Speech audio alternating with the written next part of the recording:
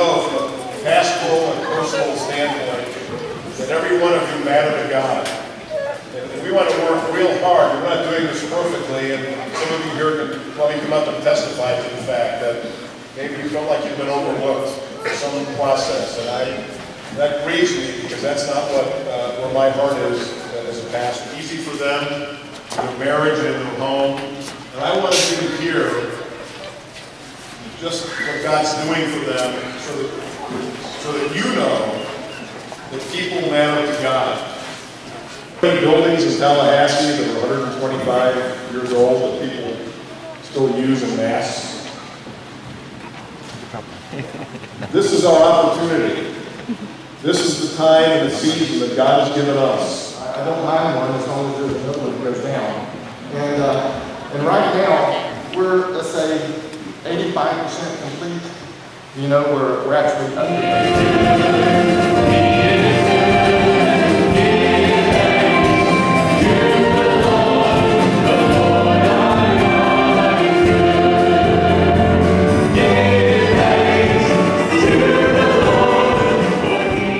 Said last night, he and I were in here a couple of weeks ago walking around acknowledging that 99% of the pastors we know would, would, would kill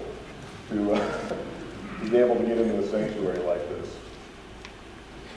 And to be able to have the chance, a once-in-a-lifetime opportunity to, to minister in a place uh, this beautiful. And we wonder, why would God, you know, why would God give this to us? And regardless of what happens from here on out, we're already across one major hurdle. Our, our building committee chairman, Bob Burton, hasn't left the church. And uh, the pastors haven't resigned. And you'd be surprised the kind of toll this takes on people, but this has been such a wonderfully smooth process. This whole project has been incredibly uh, easy from, from our standpoint, and we really praise God for that. I want you to know, as I brag a little bit on our congregation, that a lot of these enhancements you see in here have been paid for by faithful members of our church, just out of the, the, the generosity of their hearts and wanting Christ really to be honored. And um, this grand piano was a gift from one of our members who was dying.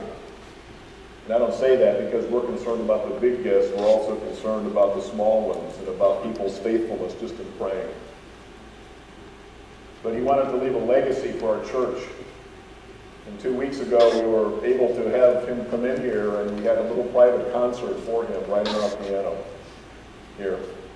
And that was the last time I think he was in public. And last night at 8:45, he went to be with the Lord. And so his funeral service will be the first funeral service we have in this facility, probably sometime this week. Uh, you go all over here and you see the hand of God on this place, and I really pray that He will use it in a, in a significantly powerful way. So we have a great entrustment. This is a place of ministry now that we have for uh, Jesus Christ. And the words reverberate in my heart, the words of Jesus. These words, to whom much is given. Uh, finish that for me. Charles, you said it last night. To whom much is given, much is required. And much is required of us as, as Christian people in here. And what does God expect from us at this particular point? I want to show you a picture. I'm sorry, one of our monitors isn't working, so those of you over here will have to look up at this monitor on your right. I want you to look at this picture to put all this in perspective. This is a picture of a Presbyterian church in Kokomura, Uganda. And we have a personal connection with this church. One of our own guys went to Uganda and built this church. Now,